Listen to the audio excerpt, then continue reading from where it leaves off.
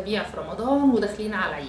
هنفكر في الكحك والبسكوت والغريبة والمكسرات الحاجات الحلوة بتاعة العيد. طب إزاي آكل من الحاجات دي وفي نفس الوقت وزني ما يحصلش فيه اضطرابات؟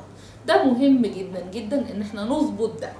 اولا إحنا هنصحى الصبح هنفطر طبعا ولازم الفطار بتاعنا هيكون فيه البسكوت أو الكحك أو الغريبة مفيش أي مشكلة من هذه الوجبات طالما بناخدها بشكل صحي وسليم.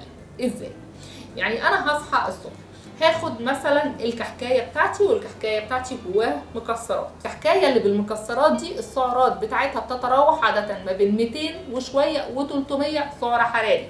فلازم ناخد بالنا إن في ناس ما ينفعش يعدوا ال 1400 سعر حراري في اليوم لو هم عايزين يظبطوا الميزان بتاعهم. لكن إحنا هنستغل إن إحنا ناخد كحكايتين يبقى إحنا في حدود 700 سعر معاهم على طول هتبقى كوباية المية بعديهم شوية كوباية الشاي الأخضر أو النعناع أو اليانسون الحاجات ال phytoestrogen وخصوصا بالنسبة للستات علشان وسط الست مهم جدا بالنسبة لها بغض النظر عن الميزان وده مهم جدا جدا.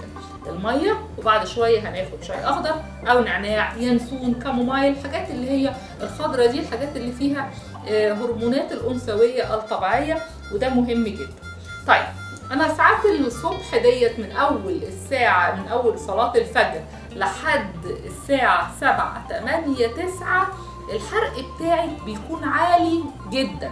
فأنا لو استغليته بعد الوجبة دي في شوية حركة بحيث إن إحنا على الساعة تسعة يبتدي عندي خمسين في المية من اللي أنا خدته اتحرق فابتدي أخش على كمان بعد كده آخد الوجبة اللي في النص بسكوتة مع كوباية مية ويليها برضو المشروبات الحارقة للدهون ودي هتبقى مهمة جدا.